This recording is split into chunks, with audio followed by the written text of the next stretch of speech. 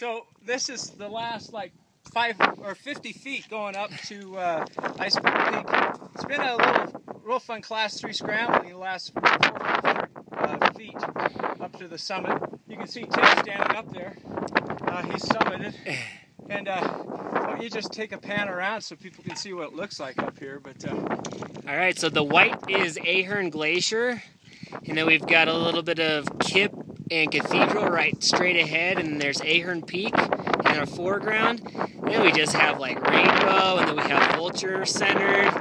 And then we have Longfellow centered. Then we have, I don't know if anybody can hear any of this. Then we have uh, Heaven's Peak. And then we have right in the dead center, that's Swiftcurrent with Swiftcurrent Lookout. So then down below us is the, uh, the old Traily Trail. So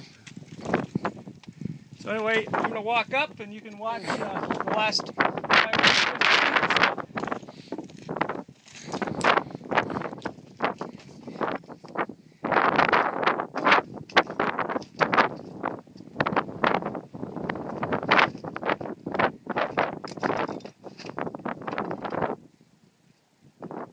that's how you do it right there, people.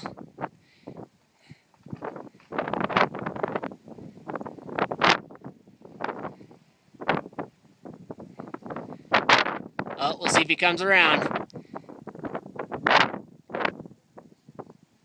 There he is. Blake on top, Iceberg Peak.